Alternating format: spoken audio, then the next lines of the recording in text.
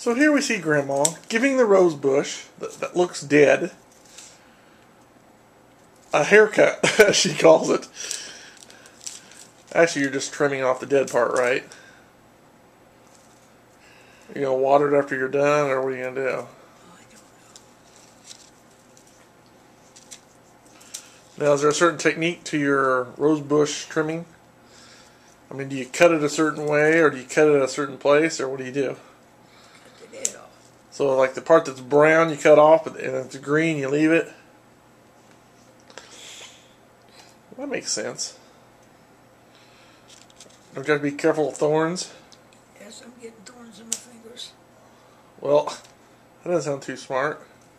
Well, I've got to hold on to it. Well, don't you have any gloves?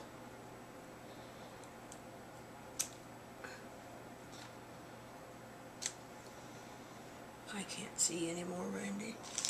I hate it.